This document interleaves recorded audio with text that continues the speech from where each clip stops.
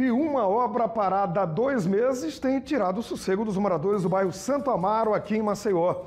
A estrada está com muitos buracos que atrapalham a vida de motoristas e dos pedestres. A gente vê agora na reportagem do William Tavares. Moradores da Grota Santa Helena, aqui no bairro Santo Amaro, reclamam desta obra de pavimentação que está parada há dois meses.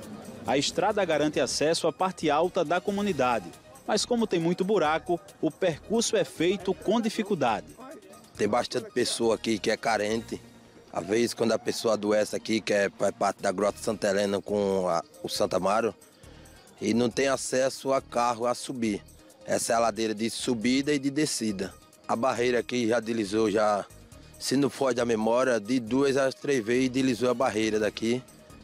E quando a barreira desliza, nem o carro da prefeitura desce para aqui para apanhar o lixo.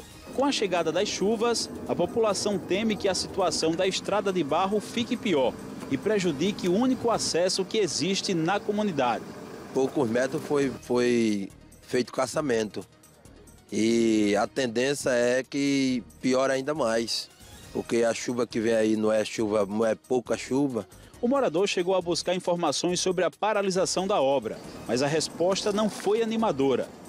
Eu falei com o órgão do Estado, da, do, da pavimentação aqui, e a mulher disse que não tem previsão qual dia que o governo federal vai mandar a verba para aqui para o Estado para dar início a essa obra. Ao fazer todo o trajeto, a gente observa de perto todas as dificuldades enfrentadas pela população.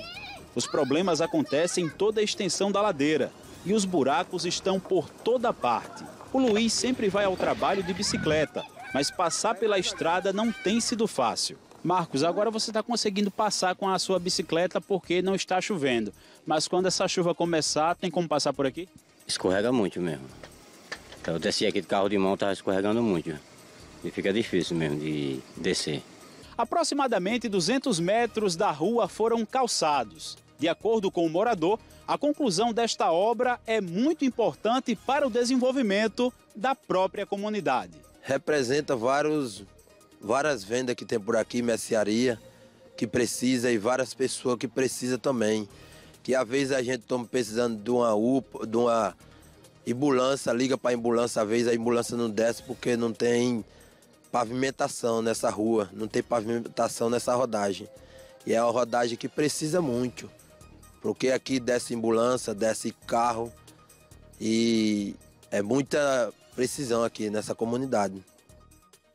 Agora imagina na chuva uma ambulância passar aí nessa terra né, vermelha, não passa, né, fica difícil.